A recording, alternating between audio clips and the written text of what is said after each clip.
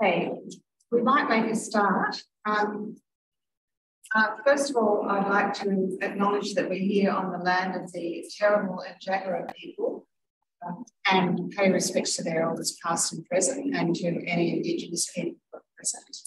Um, always was and always will be uh, Aboriginal land. Um, my name's Tricia Ranald and I'm the convener of the Australian Fair Trade and Investment Network, which is a network of about 60 organisations in Australia which advocates for fair trade based on human rights, labour rights, and environmental sustainability. Um, I'd like to thank the Electrical Trades Union Queensland branch for um, lending us these facilities to have this um, public forum on the um, Indo-Pacific Economic Framework, or IPEF, and in a moment, I'm going to give a general introduction to what IPEF is, and then we have four speakers uh, from uh, different parts of the world who are going to give their perspectives on IPEF. Um, so I might start, and I'll introduce them as they um, speak. So just to give you an idea, um, they are Melanie Foley, who's the Deputy Director of Public Citizen Global Trade Watch in the United States, Adam Wolfenden, who's the Trade Justice Campaigner for the Pacific Network on Globalisation, which involves Pacific Islands, and Jane Kelsey, who's an Emeritus Professor at the University of Auckland. But I'll start off with an overview um, and get the slides up on the screen.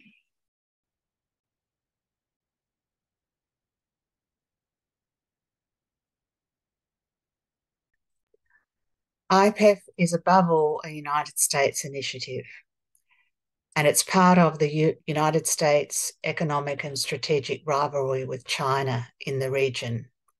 The US is not a member of the Regional Comprehensive Economic Partnership, which includes China, Japan, South Korea, Australia, New Zealand, and the 10 ASEAN countries and it's not a member of the Comprehensive Progressive Trans Pacific Partnership, CPTPP, used to be called the TPP, of 11 Pacific Rim countries. And there is, in fact, bipartisan opposition in the US Congress to trade agreements that offer access for other countries to US markets. IPEF seeks to set US standards for trade and use US rather than Chinese supply chains without offering any more access to US markets. So there are no direct trade gains for Australia or others. And IPEF also claims to establish high standards on labour and environment, but so far there's been little consultation with unions and community groups or with parliaments. Now, secrecy versus transparency. Our government has a policy for a more transparent process for trade agreements, including access to the actual negotiating texts. And unions and community groups were invited to make presentations to the negotiators at the negotiations that are going on today in Brisbane. But Australia and I, Uh, sorry, Australia and other IPEF countries have signed secrecy agreements with the US, pledging to keep all negotiating documents secret until after, five years after the negotiations. They'll release the documents only after they've been signed, but we can't see what is being negotiated at the time it is being negotiated. This is a one way street. We can talk to them, but we can't know or comment on detailed proposals being made during the negotiations. So that really limits the quality of the consultation. Now, if we look at what is being negotiated, what we know so far, what they've published are the negotiating objectives. So, um, and they're calling them the four pillars. So the first one is trade in agriculture, digital trade, labour, and environment standards. And it's not clear, but apparently they intend some of these to be binding. Second one is supply chains between IPEF partners, trying to create supply chains that are less dependent on China. The third one is called Clean Economy, and that involves cooperation on clean energy and technologies to reduce carbon emissions and apparently will involve investment in joint projects to achieve those goals. And a fair, the last one is the fair economy, which is about corruption and tax evasion. But as I said, what's not clear here is how enforceable these agreements will be. They're talking about some in Pillar 1 being enforceable, but not so much for the others. And with the joint projects with private companies, there's questions about how they will actually be agreed by governments and then carried out by private companies in terms of transparency and accountability. Um, this is a bit like the China uh, Belt and Road project. F has a diverse membership and interests, so it's not going to be an easy negotiation.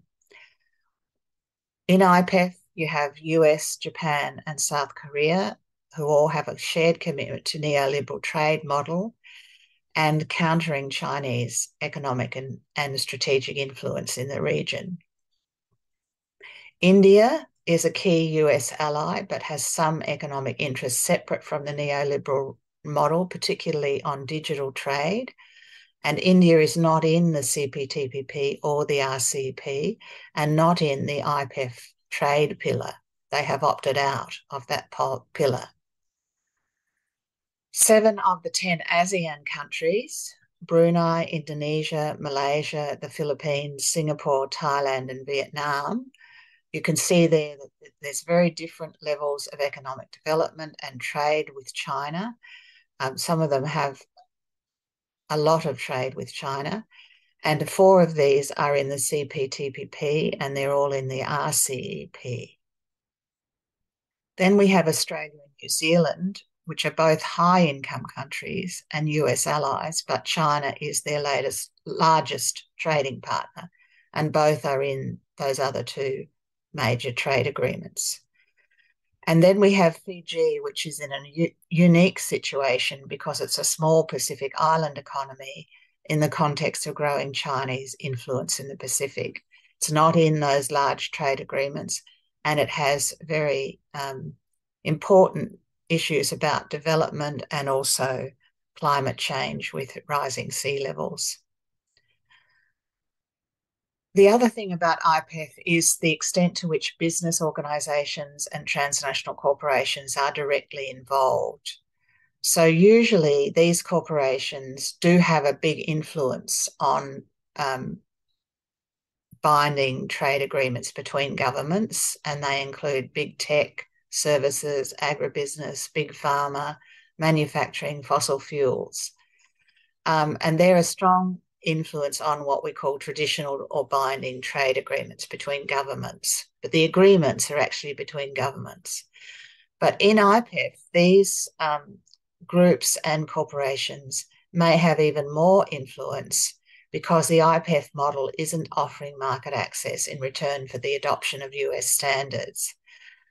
So these investment projects involving particular industries and companies will be very important in um, offering um, their these projects to um, the governments involved in IPEF as incentives, but the accountability for them is not clear.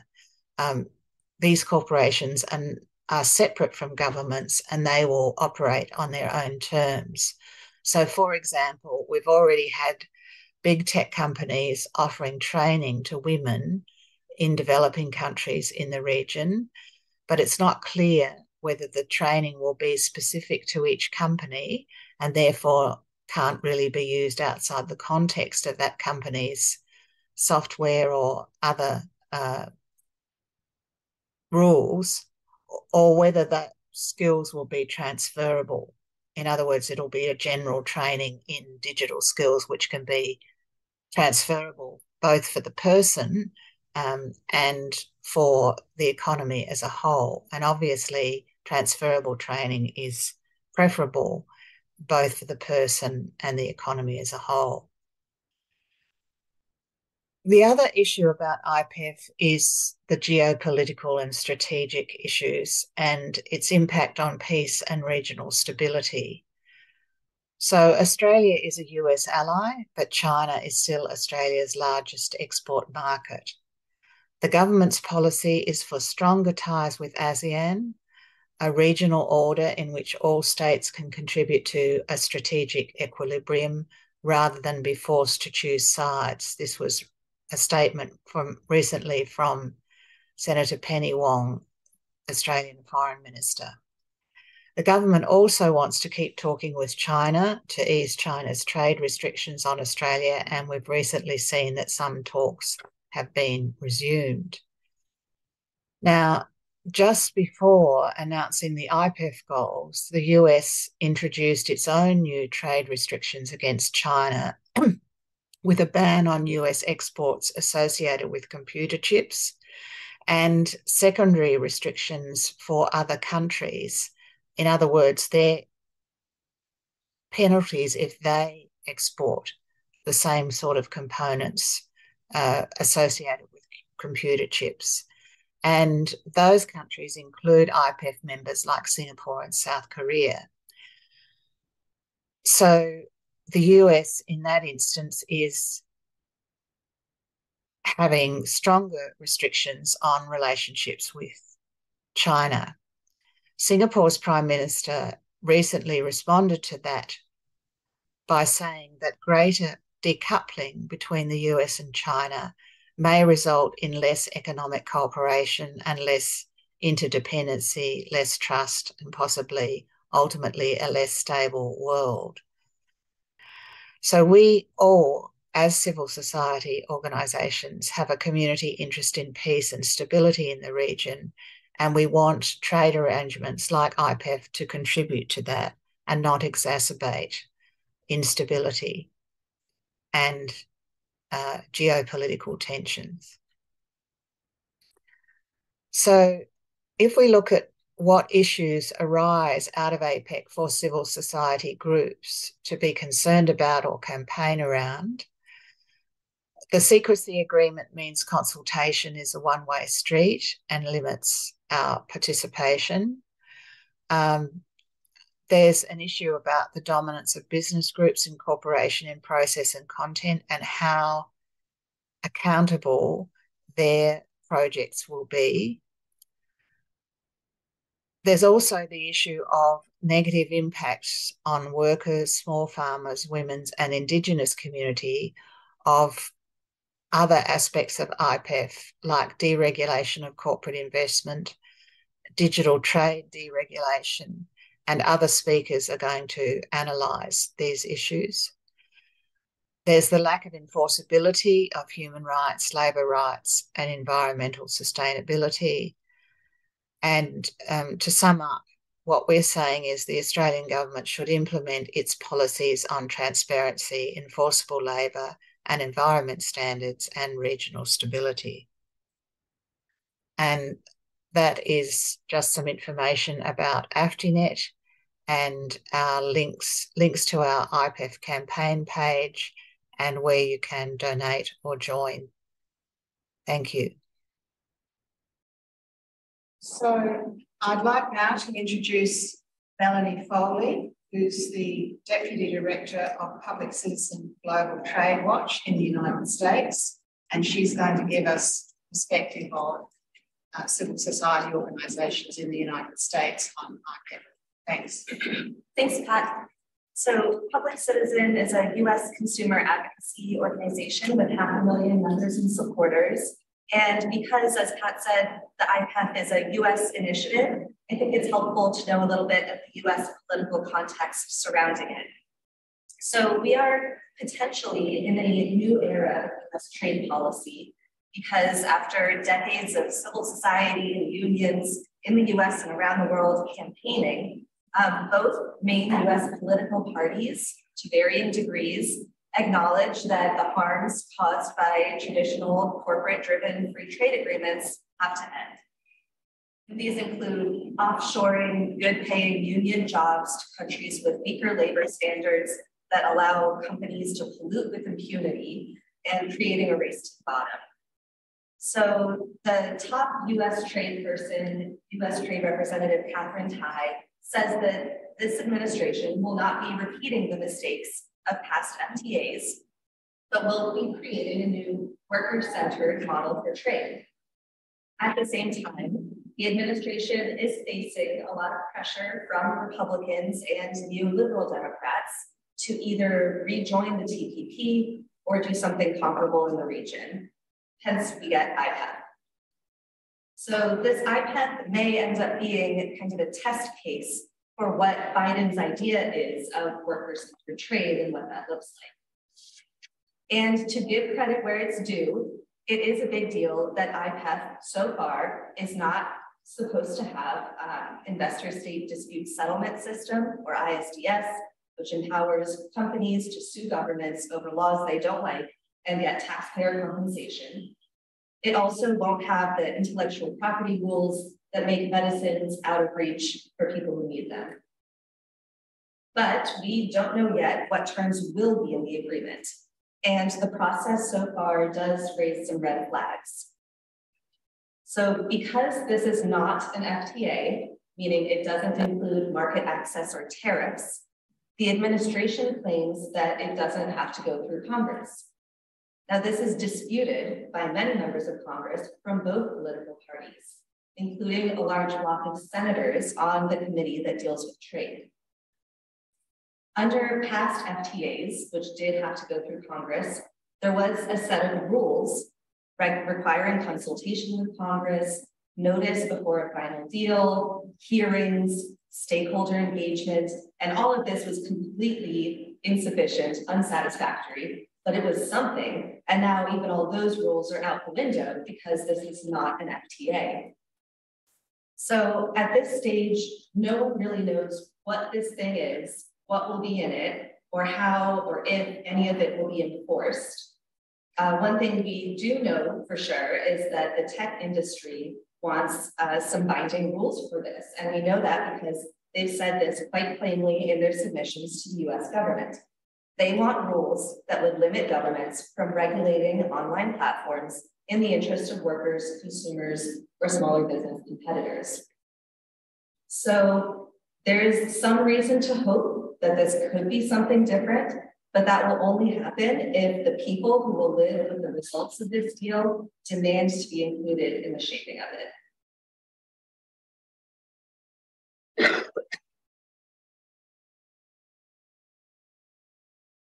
Okay, I'd like to now introduce our second speaker, Adam Wolfenden, who's the trade justice campaigner with the Pacific um, Network on Globalisation. So. Thanks, Pat, and thanks everyone. Uh, so I work for the Pacific Network on Globalisation, and PANG as it's known, and PANG is a Pacific Islands regional network that works to promote self-determination and economic justice in the Pacific Islands.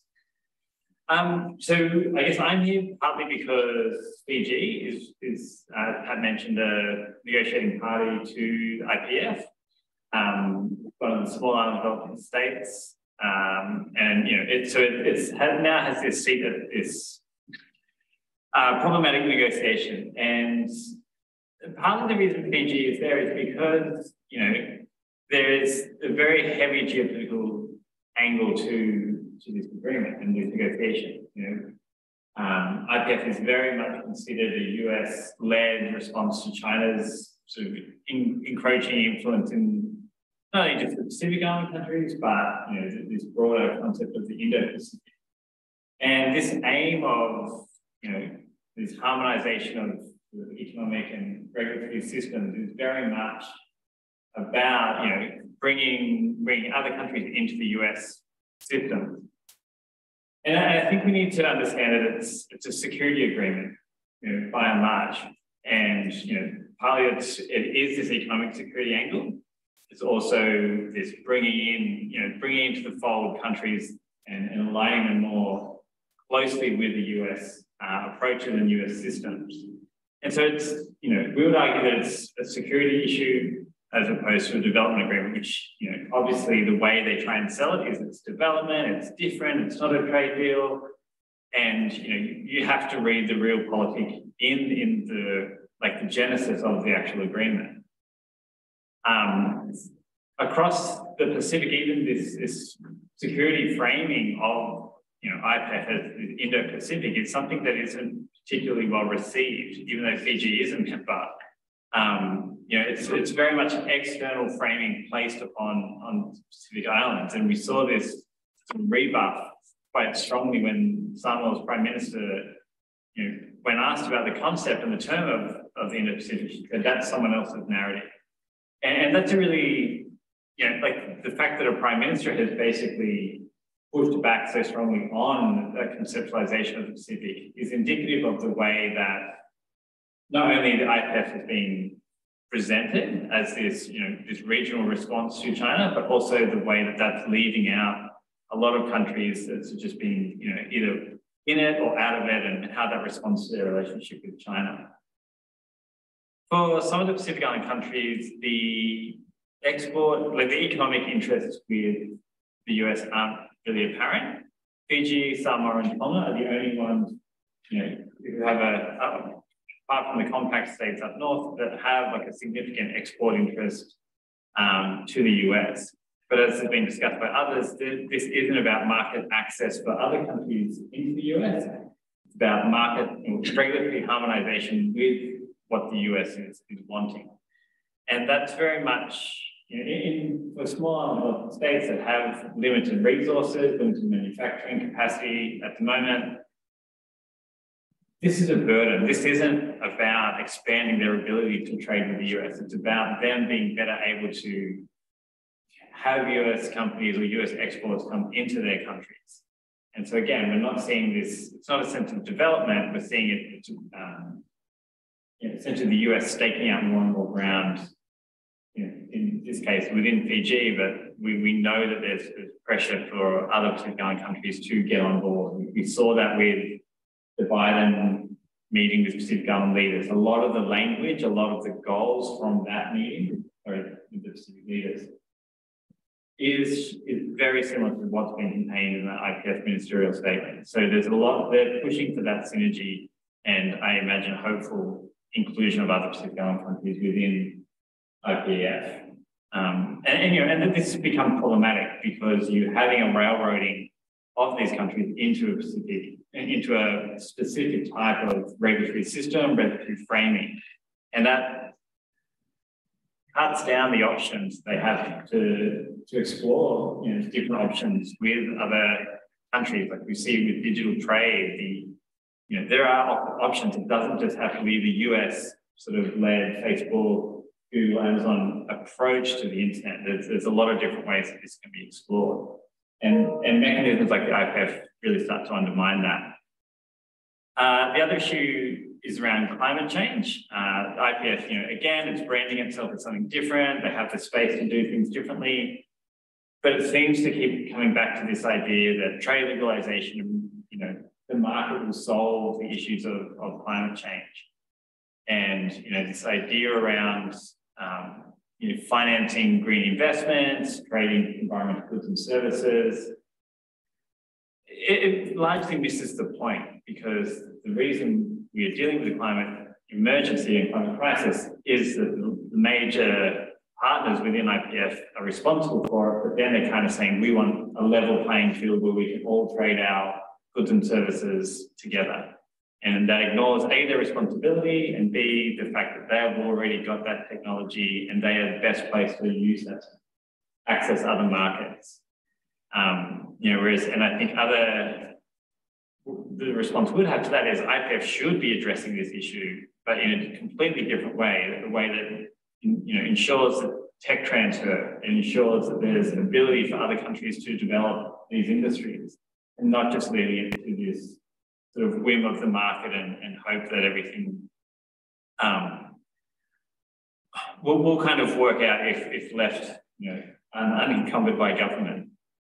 Uh, I, I think cognizant of time, maybe I'll just wrap up here in re reiterating some of the comments that have previously made around the process for the IPEF going forward and the need for access, access to the documents, access to negotiators. It's, you know, this idea, they, they want this 21st century agreement. It's not like the old FTAs.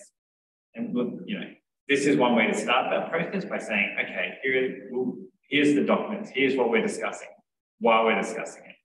And I think it's very much position now where IPEF is still being formulated and there is scope for us to engage it and intervene and try and shape it into and put things on the table that we want. Um, whether or not they get taken up, we can have that fight later, but I think that's, we're in a unique position and I think forums like this, you know, start those conversations and we need to, to keep going. So thanks for and I'll introduce our final speaker, who's Emeritus Professor Jane Kelsey from the University of Auckland. Thanks, John. Thank you, Pat. Uh, firstly, I'd like to acknowledge the Whenua, the traditional custodians of these lands, the Tuabola Jagera people, the elders, past, present, and future, and recognise that they have never ceded their sovereignty. Um, one of the funny things that happened in the last couple of days in the first negotiation that's happening in Brisbane as we speak is the number of delegations who have said directly to me, what is this thing? And these are people sitting in the negotiating room who are negotiating something that can potentially have real consequences, and they don't have any idea what this thing is. And that's a bit scary,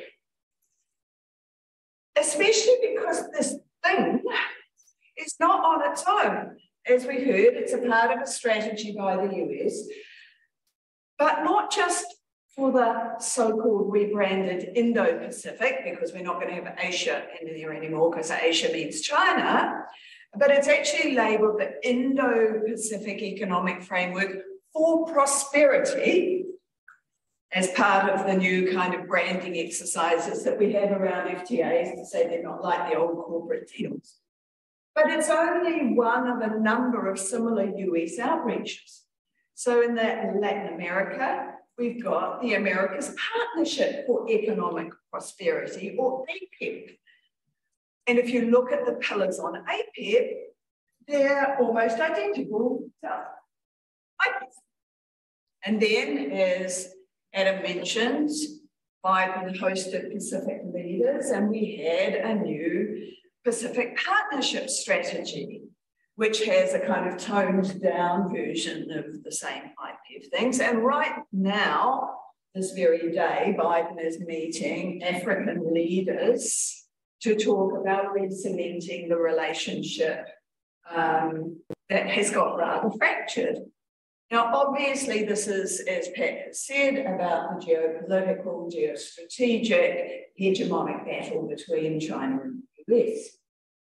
But it's also about the rebranding of the deeply unpopular trade agreements of the past.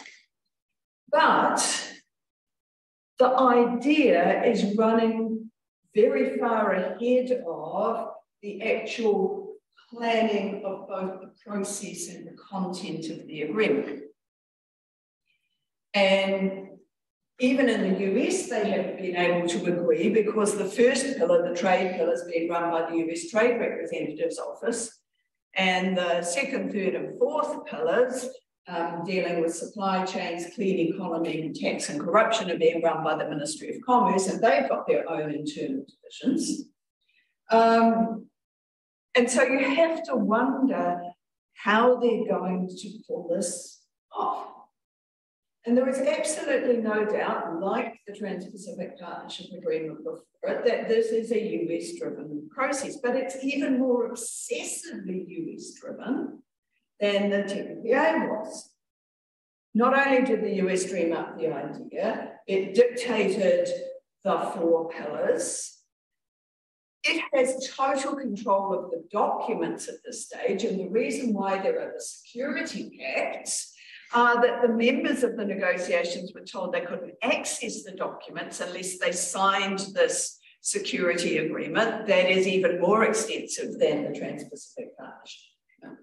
It's setting the timelines, it's setting the negotiating agenda for each round, even before the stakeholder session was agreed to here with Australia hosting, the US had to consent to it. The US is chairing every committee except the one on inclusivity, which further suggests that that's not their priority. Um, and it is drafting the points for discussion, including the texts that will be up for discussion. So the question is, what are our governments doing this for? They don't even know what they're negotiating. The US is dictating the terms. It's a mess. One of the strategies is to have the US more involved in the Pacific. But it's also, I think, the problem that many of our governments, having been on this carousel of trade agreements and trade negotiations many years, no agreement left behind. And so they're, they're going along with and cooperating with the US, which has its own internal agendas as well as its own external agendas. But the US is also the host of APEC in 2023. And lo and behold, if you look at the theme that was just announced at the recent APEC leaders meeting, it is creating a resilient and sustainable future for all to drive forward work on key issues such as supply chain resilience, digital trade, connectivity, opportunities for SMEs, climate change, environmental sustainability, digitalization, women's economic empowerment, anti-corruption. So it is the IPEF, APEC agenda. And so you can expect that the timelines for IPEF are going to be tightly tied to the US timelines for APEC and seeking to have some deliverables along the way. But how on earth are you going to do it, given the mess that IPEF is, is really hard to tell. Of course, whilst the US talks about this being different, the US corporate lobbyists have been reinventing themselves as a, an American association of the Indo-Pacific, um, which is the same old corporate lobby friends we've had in the past, and who are running through uh, with the same agenda that they've had in the past. So the, the main corporate players who are sponsoring the American Association of the Indo-Pacific PayPal, Johnson Johnson, interestingly, even though uh, IP isn't explicitly there, and private equity investor KKR. And they have, of course, already publicly said, we want you to put on the table the best parts of the TPP, the um, US MCA, and that's what we want you to use as the basis for the um, for negotiations. And we heard at the stakeholders this week, from the stakeholders today as well, Amazon, Citi, Services Coalition, same old agenda. And at the very core of it was digital, digital, digital, whether it was Citi with finance, whether it was Amazon doing its thing. I mean, it was, it is all about digital being sold as being a benefit to small and medium enterprises. They're really concerned about SMEs, of benefit to the Pacific, um, and even a benefit to dealing with issues like the climate crisis. And so there is lots of writing that you can access about what the digital agenda is. But just basically think of who gets to control data, where they get to control data and to choose under which country's rules the data is being held, their ability to maximize the consolidation and the processing and the utilization of data, including for their algorithms and codes, being able to operate from outside countries, which means not under your laws, but also uh, to be able to evade the kind of regulatory frameworks that countries are slowly beginning to see they need. Preferences for voluntary codes, uh, which means that just like the so-called Christchurch call, um, if they, if, if Twitter allows to, the, the Christchurch mosque massacre videos up there, oh, sorry, we, we will take it down and we won't do it again. And, and so the protections there are simply not going to be in place. Similar issues around source codes, algorithms, artificial intelligence, and so on.